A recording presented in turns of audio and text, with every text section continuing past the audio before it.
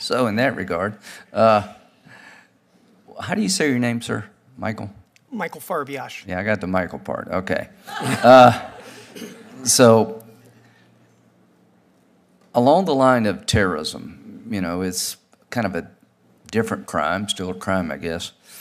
How would you, based on your experience, do the terrorists still want to kill us all? Senator, I, I- don't have a broad, systematic answer to that question. Uh, I, I've continued to follow national security. Well, the ones you met, did they want to kill us all? Senator, the ones I met were deeply motivated ideologically, people I met To do what? to kill Americans, Senator. Okay. So do you believe that anything's changed since 2014, that the terrorist organizations that you're familiar with, one of their primary desires is to attack America? Do you believe that still to be the case? Senator, I do believe that still is the case. Um, So we need to keep our guard up, right?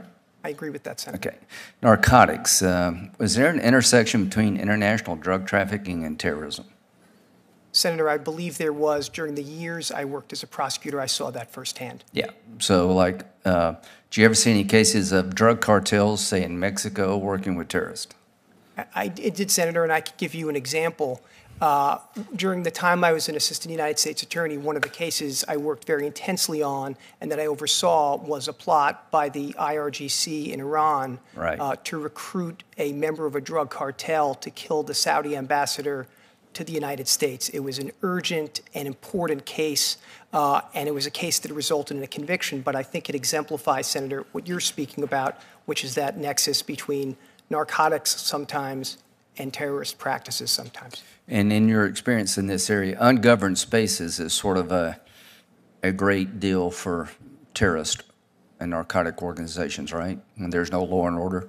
Senator, that was my experience. In addition to prosecuting terrorists, there was also prosecutions that I oversaw of narcotics traffickers from Afghanistan, from Colombia, who operated as warlords, who controlled territories, who controlled men and weapons, and were very dangerous. Do you think there's the equivalent of warlords in Mexico?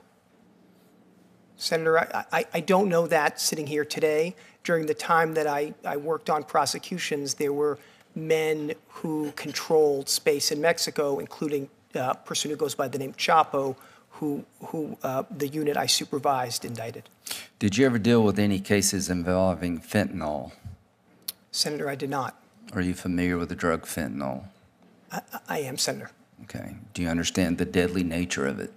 I do. In my current capacity, Senator, I'm the general counsel of a large public agency, the Port Authority of New York and New Jersey.